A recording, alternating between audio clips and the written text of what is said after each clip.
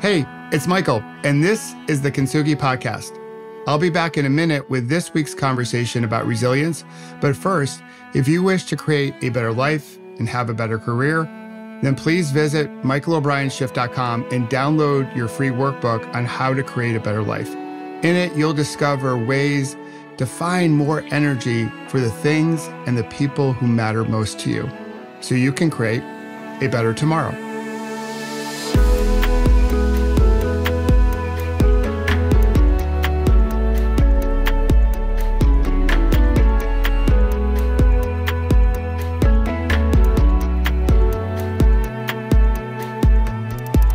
There's Michael, and welcome back or welcome to the Kintsugi podcast. It's time for another conversation about resilience. And today's conversation is a gem. When I first met DeAndra Harmony, I fell in love with her voice. That was my first introduction to her. And I know you will as well. There's something so soothing about her voice, there's something just soothing about her energy. She's one of those incredible humans looking to be better humans to other humans, to paraphrase Austin Channing Brown. She's a wonderful coach, but her story, her story is so resilient. She's a survivor. She has fallen down a few times, like we all have. If we're living and we're playing in traffic, we will get knocked down. But DeAndra has always found a way to get back up again, to make a difference, to have faith that she has a bigger purpose out there, that the things that are happening in her life are happening for her, not to her.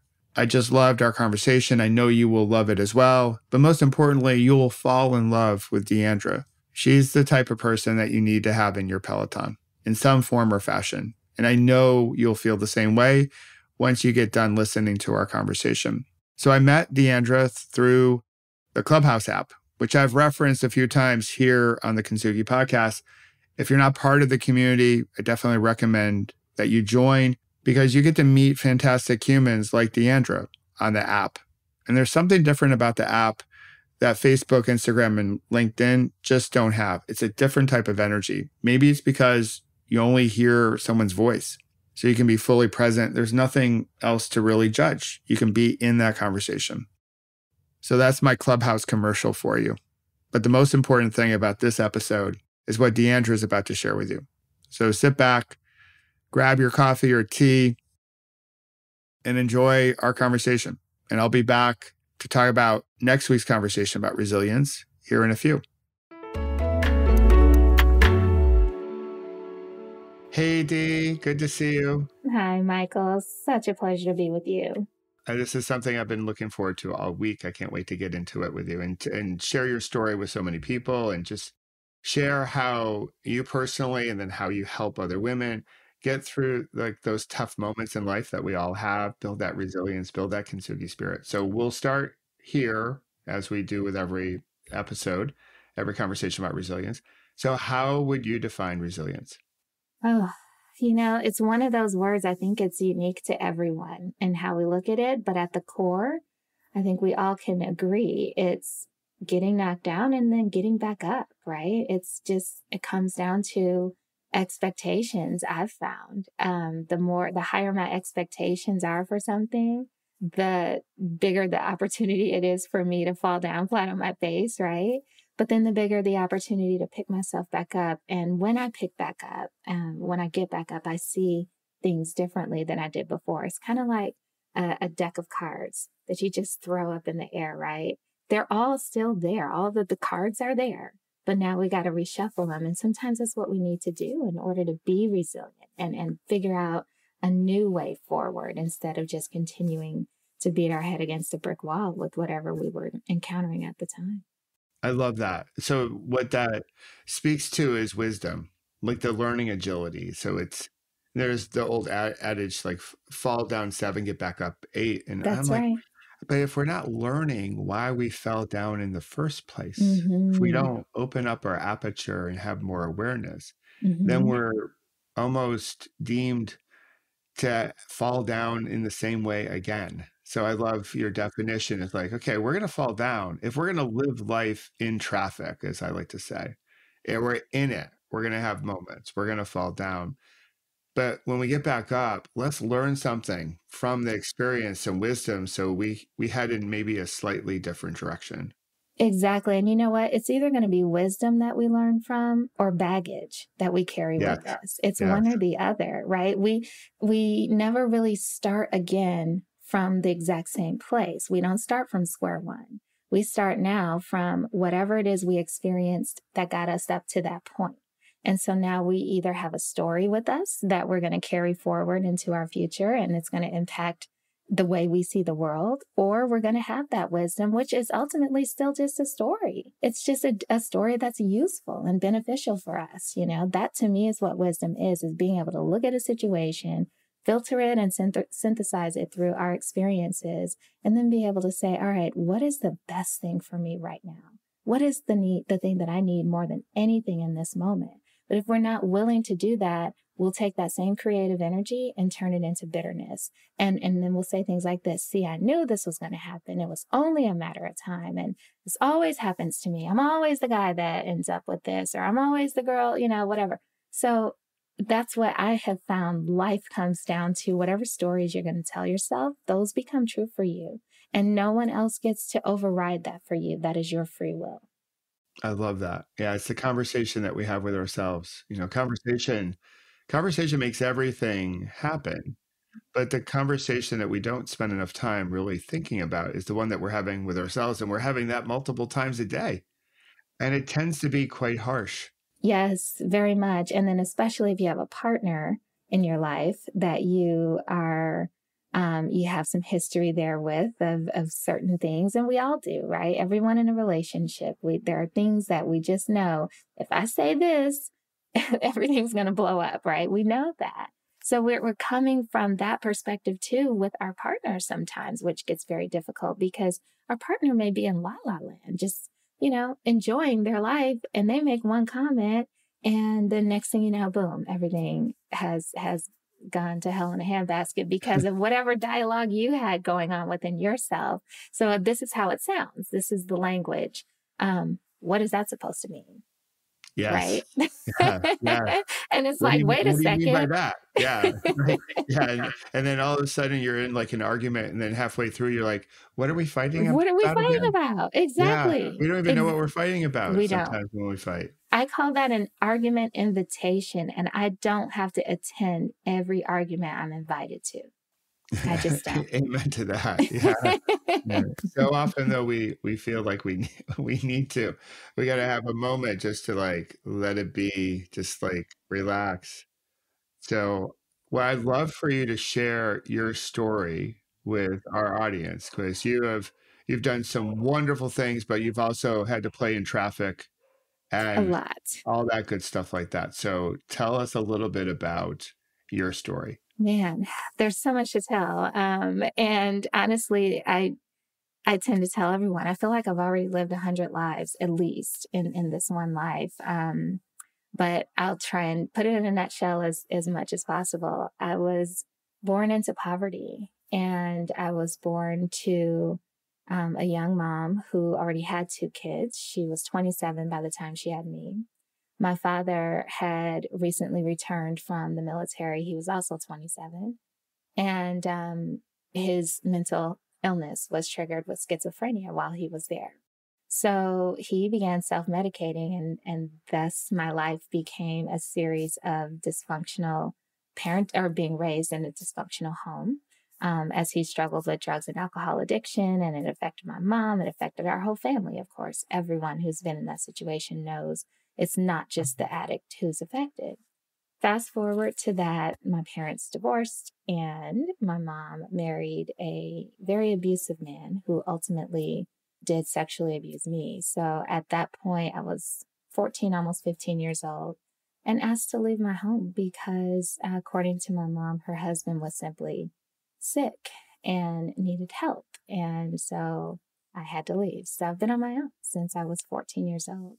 I didn't know any different though. And what's what's interesting is when when I tell this story, even telling it right now, it's almost like looking back at a movie of my life because it feels like it was so long ago, but I know it it that is the beginning of where I am today, right? Those were my humble beginnings. And so I ended up working my tail off, getting into a very good school. I got into Carnegie Mellon and um, And I saw that as an avenue to have a better life.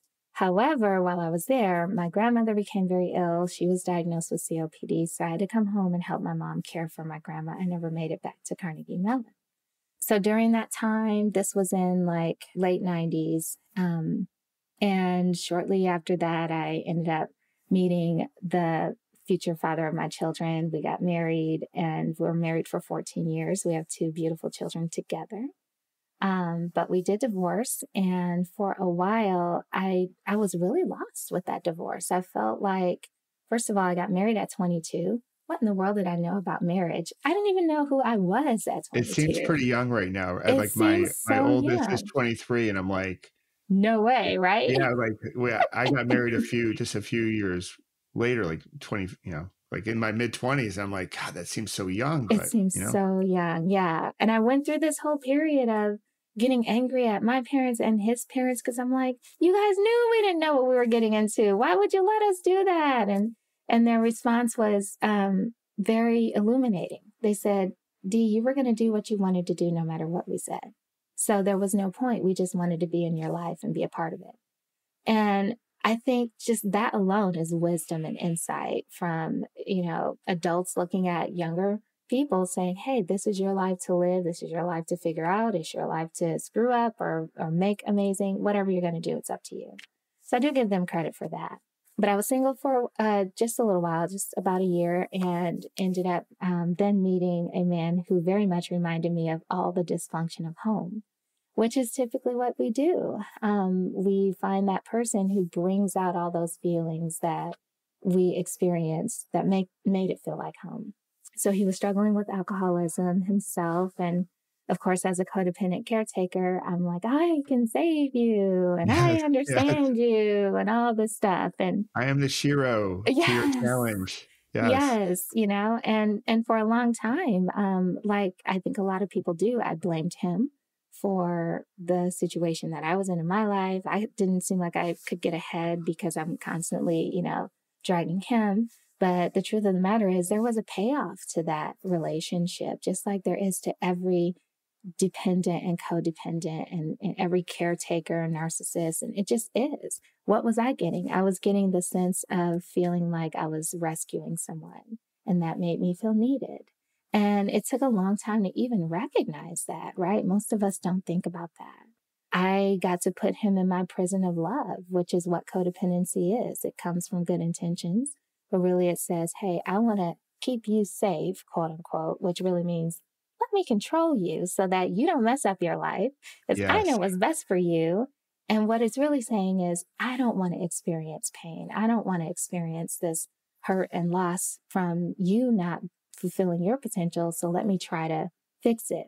It, it all comes from a place of love and, and good intention. But my grandmother used to always say, the path to hell to, is laid with good intentions. Yes, right? it is. Yep. And so uh, it just, and ultimately putting someone in a, a prison um, of, of your own love is hell for that person and for you because it means you can't ever change and they can't ever change and life can never change. Circumstances can never change. And then I'll be happy. yeah. Yeah. Right? It's the chasing a, it's the, if all this will hap- happen, my happiness is on the other side of all these different events. Sort of in exactly. the spirit of we're chasing our happiness. We're chasing and then, our happiness. And then we mm-hmm. catch it. We we do catch it from time to time. We have moments where we're like, oh, this feels good. But the structural support system for our happiness isn't there. It's not right. core, right? right? So then right. it flies away again, and then we go mm-hmm. back to chasing it. And exactly, and it's, it's external. And so, you know what? I tell people all the time when I'm working with someone who is new to really this concept of overcoming codependency, um, I listen to them, and they'll say things like, "Oh, you know what? If my boss was just more." um, supportive of advancing my career, or if my husband was more supportive, or if my parents had set me up for success and all this stuff. And, and if they would just do this, if my kids were more sufficient or whatever. And I say to them, okay, so all these people need to change. Let's say they all made those changes that you want. Then what? And the, the answer is, of course, then I'll be happy. Well, then what happens if they don't? Well, then I'll be miserable. Well, herein lies the problem. You don't have an internal locus of control. You don't have your own sense of power because you've given it away, but you're blaming the very people that you've given your power to. And all that has to happen in order for you to reclaim that power is learn how to love yourself and set your own boundaries. This is what works for me. This is what feels good for me. But in order to do that, you have to pay attention to how you feel. And yeah. codependents have a hard time with that. Um, it, we are much more focused on how other people are feeling. So for many years, um, I struggled with that. And I had this sense of, I don't want to, um, I don't want to fail again, is what I thought with marriage number two. I didn't want to fail again. And I went through this whole process of trying to figure out a way to make it work without compromising my whole life. But I realized that wasn't an option. Um, when you're with someone who's self destructive, it's only a matter of time before you get taken down too. And you, you can't save people. You can only love them. That's it. So, um, going through the process of realizing that my marriage was an illusion, and I don't blame him because the truth is he wanted to be healthy and whole as much as I wanted him to be healthy and whole. It just was not going to happen. So my pandemics of sorts started on December 31st, New Year's Eve, 2018, when I filed for divorce because I realized I can either get out of this after these last five years or I can keep reliving the same year for another 20, 30 years and call it a life. And I wasn't willing to do that. So I filed for divorce. Um, three weeks later, I started a new job, a very visible job with the um, Innovative Healthcare Organization. A couple months after that, I sold or I left the house we were in together, bought a new house for me and my children, renovated the home, put them in new schools that came with it, their own set of challenges, and they were middle schoolers. So it's a lot. Um, high school stuff, That's a middle hard school age to switch schools at. Yes, so. yes, very much. Um, but they wanted to, and and I was like, all right, we're just gonna have a fresh start, you guys. We're gonna have a fresh start. So they started school um, in early August, and I finalized my divorce on um, August 9th. And at the time, he had gone through rehab and was doing everything he could to save the marriage. Um, to his credit, he did try very hard, but it um, it wasn't going to change. So I filed for divorce on August 9th, and then on August 22nd, I was diagnosed with breast cancer. Mm. So, with all of that happening all at once, the tumor that was growing, my doctor told me was so large, it had probably cropped up in the in the previous six weeks, is what she said. And she wow. wanted to know what's been going on in your life over the last three to six months. I'm like, how much time do you have? A lot. a lot. Yeah. Um, wow. So she didn't come out and directly say that I manifested it. But all the research that I did after the fact, because first of all, you get this diagnosis, your very first thought, my very first thought was no, right? It's denial, not me. Then the very next thought is, what about my children? And then right after that, I thought, I might die before I have a chance to live. And just the realization of it all, you know, I had finally gotten myself to a point where I had gotten past a lot of the limited beliefs and the debilitating circumstances that I had grown up in. I had elevated myself financially and taken care of my children and, you know, just had on the outside what looked like an amazing life. And the truth is, though, I had a lot of pain and resentment building up on the inside. And it, in my opinion, it crystallized into a tumor. So with that came a battery of tests and, and, um, you know, procedures because in an instant I went from being myself to a cancer patient. Yeah. And nobody can prepare you for that. Yeah. Your identity is, is shifts or pivots in a moment. In a moment. But the beauty of that, looking back, obviously there was no beauty for me in that moment. And I want to make sure that's clear because breast cancer is not pink and fluffy and and you know huggy and all the stuff and and girly and every that's not what it is at all it's the opposite i know that's what the propaganda is because somehow we've got to get through it and i guess that's how we get through it but i couldn't get through it that way and so yeah just that that inner feeling of i am not immortal. And we know that intellectually, but it's those crises. And you know what I'm talking about having that crisis yep. where it's like, my goodness, this life is precious and I don't want to waste it. And I don't want to go through it alone. So, over the course of the rest of 2019 and into 2020, I did have to have a bilateral mastectomy. So, both my breasts had to be removed. And um, then I had a second surgery, complicated after that. So, during this time, um, my now technically ex husband was like, Hey, Dee, I'm going to be in your life no matter what. I'm not letting you go through this alone. So, he's trying to help, but making it worse. And it just was a big mess. Um, yeah. But on top of that, my doctors were very much um, encouraging me to go through chemo. And having been in healthcare for so long um, and understanding my body the way that I do, I didn't feel like it was the right thing for me to do. And I say that knowing it is a deeply personal um, decision. It's not something that anybody should be talked into um, or talked out of. It's it's at the end of the day, do your own research, understand what's happening in your body, and make peace with yourself, with God, with your higher power, whomever you want to call it, and know that hey, it's okay for me to trust myself. Be willing to live with whatever decision you make. That to me was the most empowering thing about that whole experience was recognizing I'm capable of deciding what I want. And whether it works out or not the way I intended, whatever outcome, I'm okay with it and I can live with it. But here's the other big thing that happened, just like you mentioned. In that moment, boom, my identity shifted. That can happen at any time if we decide. And that's when I realized I have the power to redirect my whole life by changing my mind about who I really am. And so if for the longest I were to see myself as this victim who was, you know, raised in poverty and and went through all of this abuse and then had all these things happen to me. If you were to just meet me on the street, you would never know that about me. Why? Because it's not relevant to who I am in this moment. But if my story will help encourage someone and inspire someone, I'm more than willing to share it. And people will ask me, How are you so comfortable just sharing these intimate details of your life? Well, because it's just a story now. It's not who I am. So if people want to judge it or if people want to have, you know, whatever opinions about it they want, they get to have that. It doesn't affect me personally anymore. So it's it's that evolution. Once you again face death, suddenly life doesn't seem so scary anymore.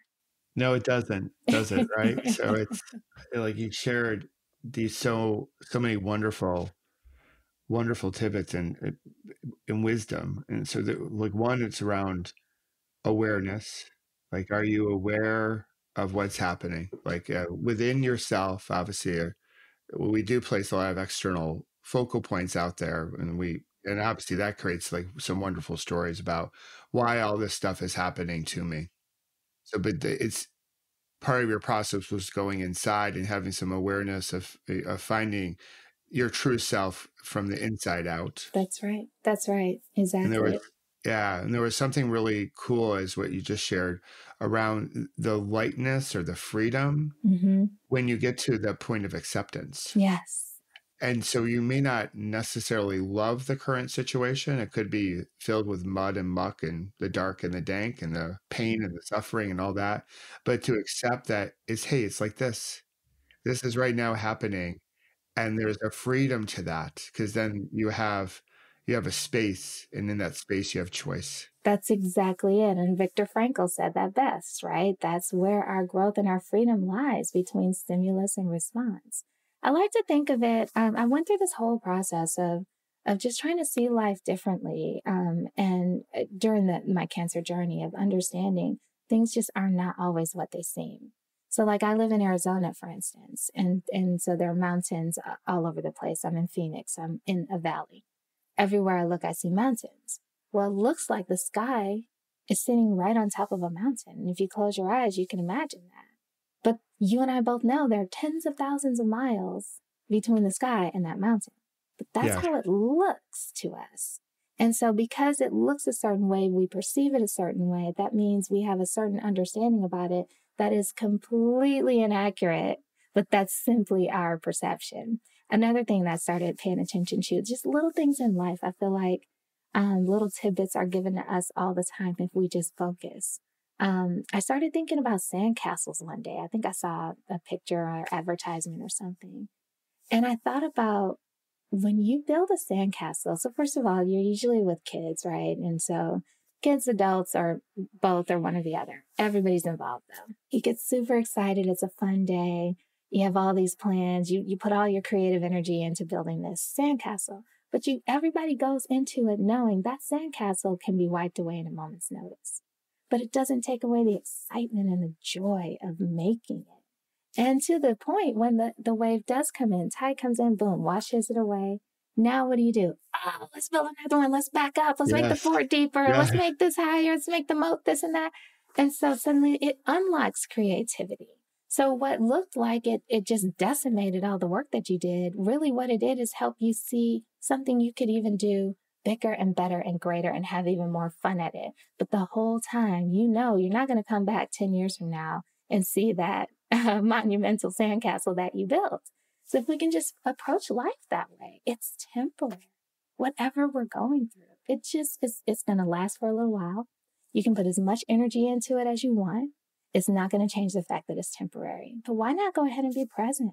You know, why not enjoy it while you're going through it? And, and even if it's a tough time, um, and I've had plenty, right? I've had times, there were nights where, speaking of resilience, um, you know, I tried to prepare my kids as best I could to recognize mom's not going to be here forever, you know, and that's a fact. That's cancer or not.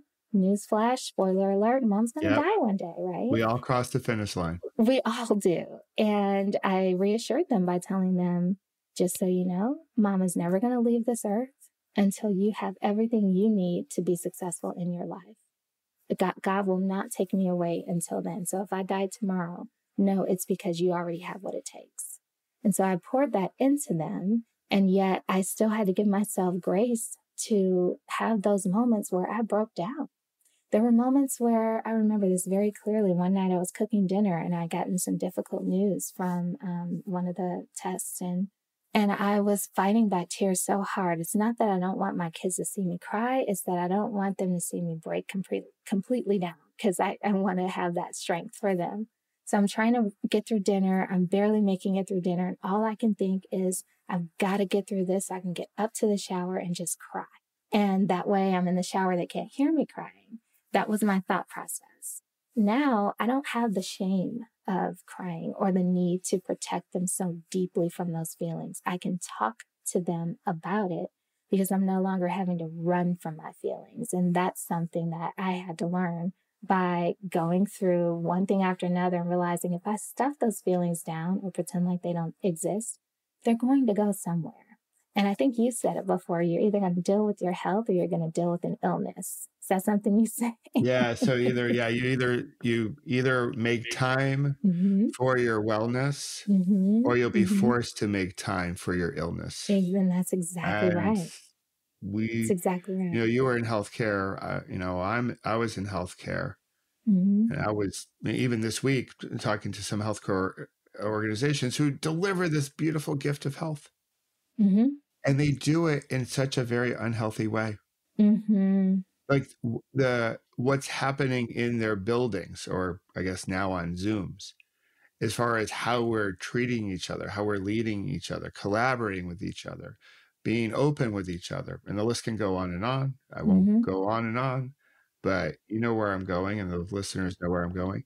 It's such an unhealthy way of living. Yes. It actually leads to illness.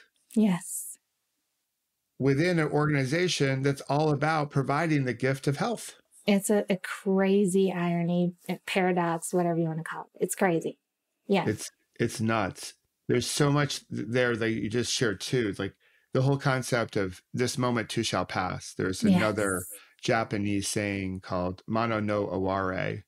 And it's really just about the transient nature of life that the, the beauty we see in life and sometimes the tough moments we see in life, which also has their own it's their own its own version of their beauty.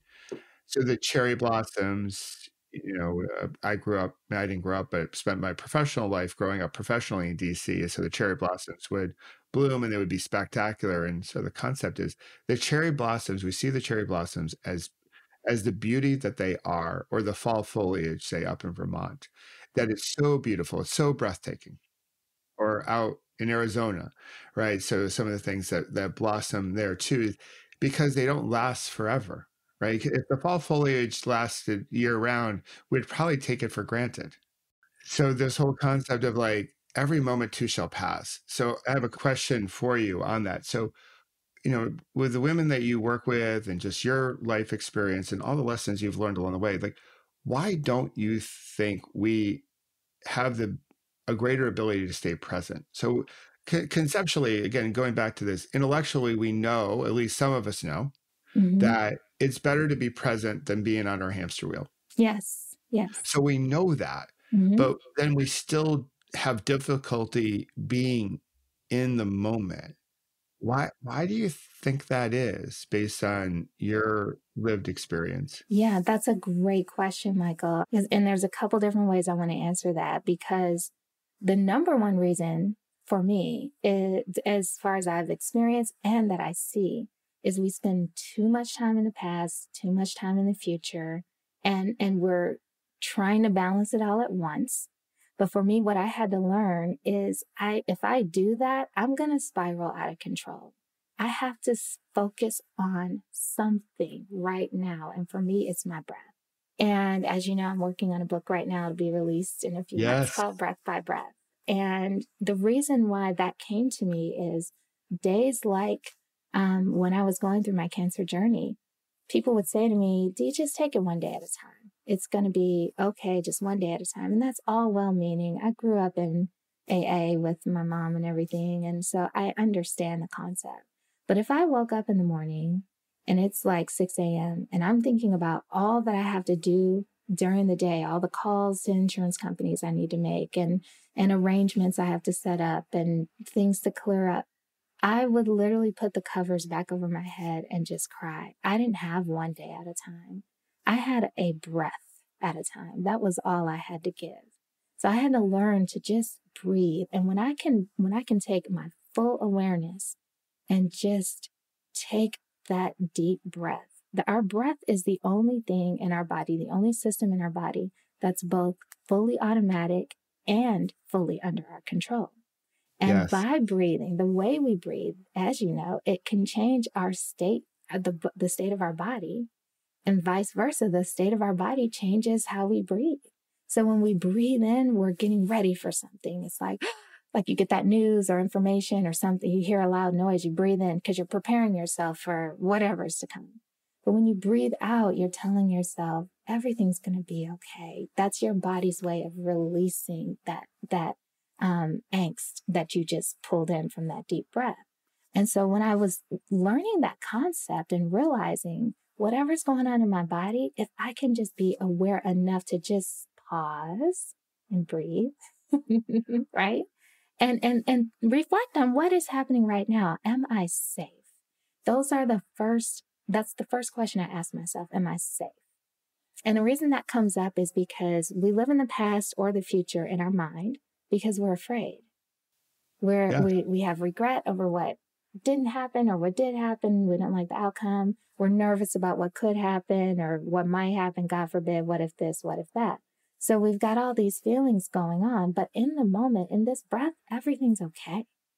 And so that's where I have to remember uh, and, and even just to sometimes ask myself that question. Um, am I safe? Yes. And how do I know that? Well, because fear isn't real. And here's what I mean by that. If fear were real, we'd all be afraid of the same things, right? Some of us are afraid, self included, of snakes. I'm not a big fan. They're uh, diamondback snakes. Fan. You, you do not live in a very a very good state if you're scared of snakes. I'm scared of snakes, exactly. And and I have seen diamondbacks um, in my backyard. So you know, some people they'll keep snakes as pets, as you know. Yeah. So if, if the fear was real, we'd all be afraid of the same thing. We're all afraid. Uh, we're born with the fear of falling. But you and I, I'm sure both know people that skydive and they love it. So the fear isn't real. Danger is real though. Me getting chased by a mountain lion down the street or a coyote or something, that's real danger. And so I better be afraid and I better use that adrenaline with all I've got. But other than that, I have to ask myself, am I safe? Because whatever it is that is going on to produce those feelings of anxiety or regret, it all comes down to fear. Um, I'm afraid of disappointment, of what could happen in the future. I'm afraid of whatever impact the decision I made is going to have. And so all of that only exists in our mind. In this present moment, I'm okay. So it's it's deciding and setting that intention early on. I'm gonna I'm going to be as present as possible. And then the more you pay attention to your body, the more you meditate. And I know that's a big buzzword these days, and a lot of people struggle with it. I don't know how to meditate. I'm doing it wrong. I teach um, all of my clients with meditation look for those thoughts, anticipate the thoughts, because that's what they think. I can't turn my mind off. Good. Pay attention, see what, notice that you're thinking, and now lovingly bring yourself back to the moment. It's an exercise of love and intention. Um, not to force your mind to do something that it's not going to do. The mind is not going to just stop just because you tell it to, right? Just like your heart's not going to just stop beating because you tell it to. The heart beats, the mind thinks. The point is to train our mind. And as we train our mind with our breath, breath awareness is self awareness. Ah, I love that. Yeah. And breath, breath control is self control. Yeah. Absolutely. I, you know? I love it. So it's all tied I, together.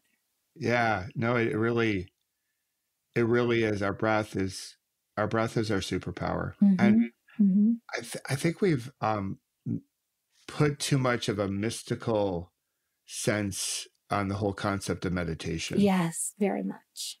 I'll be a little critical. I think some people like get to the edge and really mystify it. And it, it makes it in some ways for the masses. Uh, so, because that mystery does speak to a bunch of people, and that's really cool. Like every lid can fit the pot, or every pot has a lid, or however the phrasing go, uh, goes. But so, but for the masses, for the 80% of the people walking this planet, it it doesn't feel that relatable. It doesn't feel all that accessible. And so we're like, ah, I don't know if I can go there. I do that. And there, there's all these notions of what it is. And to your point, we can't stop our mind from thinking. It's going to think during the practice, if you will. And that's normal. And we just want to note that we're thinking and just have that awareness. That's the beautiful thing. And make make our breath, which we all have, it's our it's our common tool.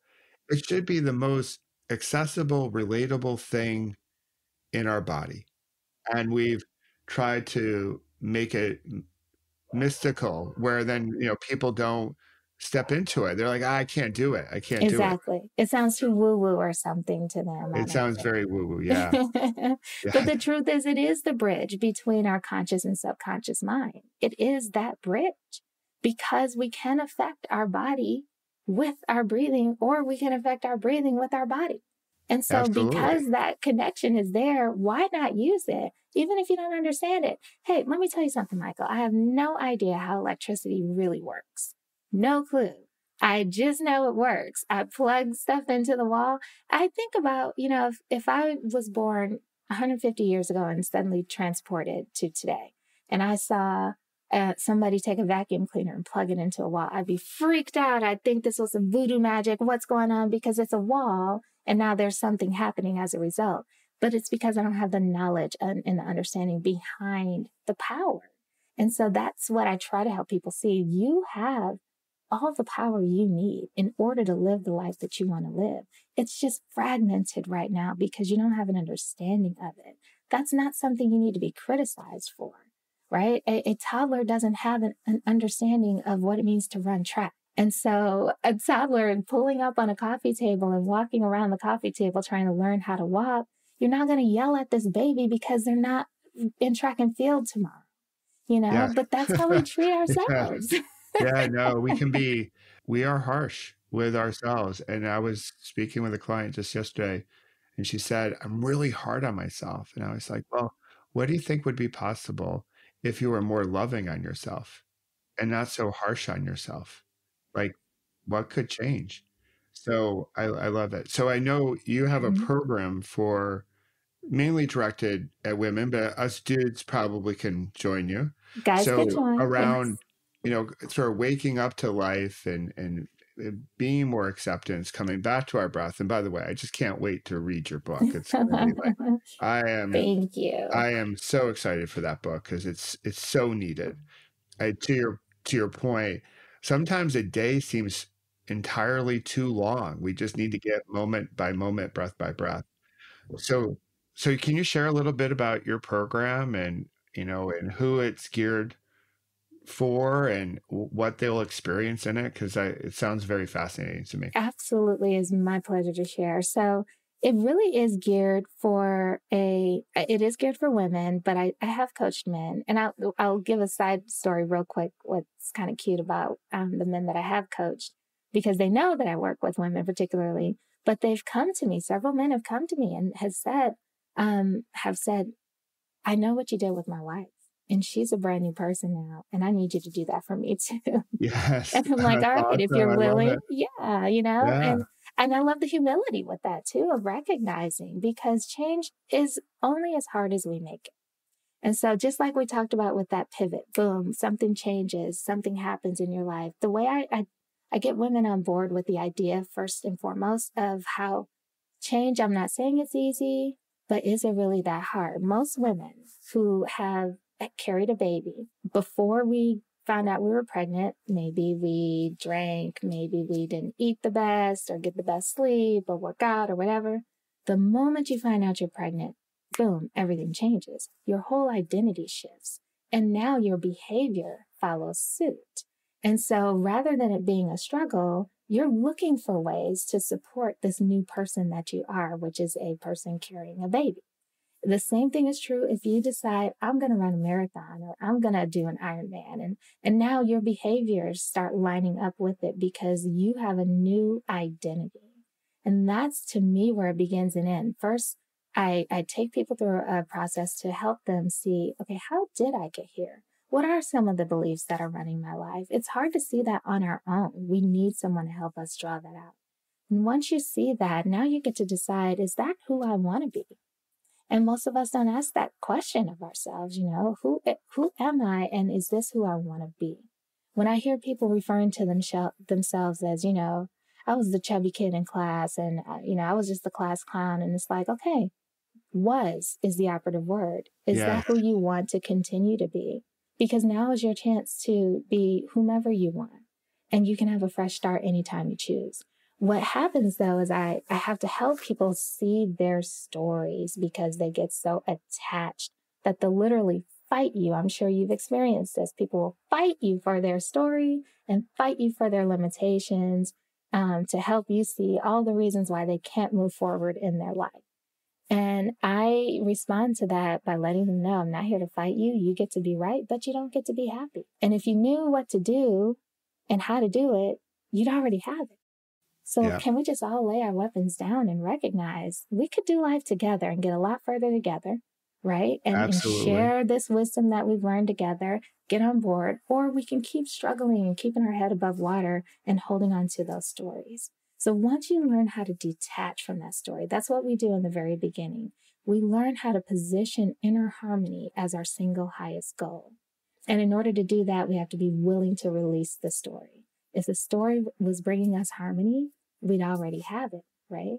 So most of us don't wake up in the morning thinking, how can I get more inner harmony in my life? Right? Yeah, yeah, Nobody yeah. thinks that. We think about the destination. We wake up and we think, I just want to be happy. I want more money in my bank account. I want to have the love of my life. I want all these things.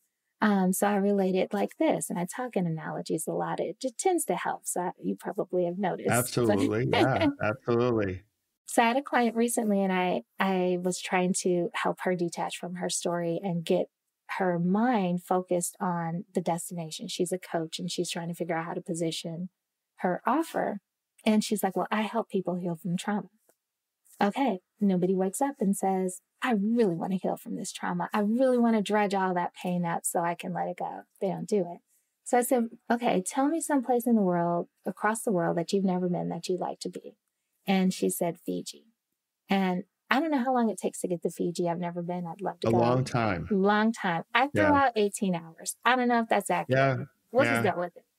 And I said, how about this? How about I tell, I'm a, I'm a travel agent now. I have my travel agent hat on. Let me tell you about Fiji. And I'm telling you all the wonderful experiences you're going to have in Fiji and how beautiful it is. Only thing is, it's an 18 hour flight to get there. But then once you're there, all this is going to happen. That sounds amazing. But if I flipped it and said, hey, let me tell you about this 18 hour flight I want to take you on. And on that flight, you're going to see this and you're going to eat this awful food and you're going to have conversations with people maybe you don't want to talk to and, and you're going to be uncomfortable trying to rest and everything. But don't worry, at the end, there's Fiji. How excited are you to get on that plane? Yeah, probably not so much. You, you might be able to get through that resistance if, exactly. if you have travel companions who are saying, get on the plane. Get on the plane. But, but yes. for yes. the most part, like to volunteer for such a trip or, or, or actually pay for such a trip. A lot of people like, eh, I don't know. I'll read about it on the internet. Yeah, exactly. I'll watch it on YouTube or something. Yeah, yeah, exactly. you know I'll- like watch the they're not going to do it so so recognizing first and foremost that most of us don't really even know what's brewing underneath that that is causing us to feel the way we feel we just know we don't feel that great and so i work with women and men who get to that point where they say something needs to change and when i know that they are recognizing and willing to change now let's work together to see what do we need to do to make those changes in your life what I've also found is that a lot of times people they they want to get from point A to point B. They think it's a direct line, but it's not. And so No, in order to get there, we've got to unlearn some habits, we've got to unlearn some thoughts and replace those thoughts. So my program is divided into 3 months and for each month we focus on a different subject. Month 1 we fo- focus on inner harmony, truly learning how to love ourselves and learning how to position that, letting go of the need to be right letting go of the need for things to be different than they are. It is what it is. What are we going to do from here? Developing those tools that you can use on a daily basis, not just fluff or like, you know, Alka Seltzer when you have heart disease. That's Yeah. not going to help, you know, like, um, so we focus on that in the first month. The second month, we focus on harmonious relationships because that is the biggest factor outside of the, the number one relationship with ourselves. And then the third biggest will with that is finances. And and it's a difficult subject for a lot of people to talk about. Nobody wants to say how much they have in their bank account, even if they've got millions. They don't want you to know. Like it's a Yes. touchy subject. And so we all have issues around financial harmony. So if we can blend those three, and spirituality is weaved into all three, um, not in the sense of of a religion in particular that I'm, you know, I don't push any particular religion, but just having an understanding that there is a divine flow to this life. And you don't have to understand it in order to flow with it. So, um, opening up their minds to what's possible. And during that process, I work individually with them throughout the groups to help them develop a strategy to move forward in their life. And once they know who they really are, who they want to become, and then what do they want to create next, now they don't have a default future anymore. Now they have a future they're excited about. So that's what I Yeah. them. I love it. Oh, oh, I love it. I love it. Thank I know many people who need it. So, what's the best way, Dee, for people to get in contact with you? Best way is going to be to get in touch with me on Instagram. Just DM me on Instagram. It's deandra.harmony. Or you can come to Facebook. It's DeAndra Harmony Coaching. We can put all the links up for you. Um, the program itself is going to start at the end of July, and I'll be announcing those dates coming up. So, um, yeah, even just to find out about um, some of the events that are coming up, I have workshops I'm going to be doing and master classes I'll be hosting in June and July. So, um, yeah, I'm going through all this. But here's the other thing, Michael. I'm still on this breast cancer journey. I Yeah. still have one more surgery to go, and that's coming up in June on the 15th. And so, even as I think about doing all these things, it's a living, I have to live what I teach. Yes. And, and this is real time happening. So, um, it's exciting to be uh, in this position where I know I have so much love and support, but I'm also giving so much love and support that sustains me. It's this ebb and flow to life that I've found. So I'm excited about that. But more than anything, I'm excited to now finally be my true self. I know how how liberating is that? That is so and that's what I you know, this work on the Kintsugi podcast and the work that, hmm you know, I do, the work that you do, and so many other people do, it's it's really to help people wake up to their one wild and precious life to pull from Mary Oliver and really be their true self. So thank you so much for joining us on the Kintsugi podcast. I It's loved been it. a pleasure. So Oh, and Michael, you know what? If I could share one more yeah, thing. sure, go for I have a quote that I want to share. It's not a well-read quote. It's uh, was written by a lady named Jo Coudert back in the 1960s in a book called Advice from a Failure, which is very interesting in and of itself. But the quote shook my world. Um, she says, "Of all the people you will meet in a lifetime, you are the only one you will never leave or lose. To the question of life, you are the only answer. To the problems of your life." You are the only solution. If we can internalize that and take a look in the mirror and say, what do I need to do for me right now? And and love from there, I think this whole world would be completely different. It would be. Yeah. I love that. That is a great quote. I'm I'm gonna borrow it from you. I'll put it in the show notes so people can reference it. So Awesome. love you, D. Love Thanks you for joining. Michael. Thank you. Talk to you soon. All right, bye bye. Have fun storming the castle. Thanks.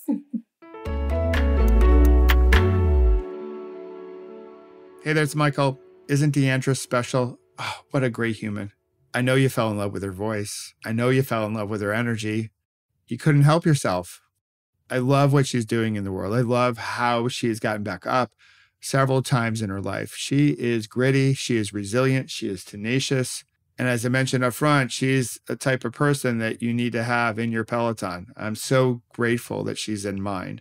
And she's part of our Pause, Breathe, Reflect community. Again, I met her through Clubhouse. If you haven't been on Clubhouse yet, definitely recommend that you do. You can meet wonderful humans like DeAndra, and then you can visit us in the Pause, Breathe, Reflect room, the club. So you have some moments to hop off your hamster wheel and just connect, share space with other humans looking to be better humans to other humans. And breathe and practice mindfulness, which is something that we all need to practice a little bit more of to wake up to this wonderful gift called life. So I hope you'll join us over there. DeAndra referenced her book coming out, her new program.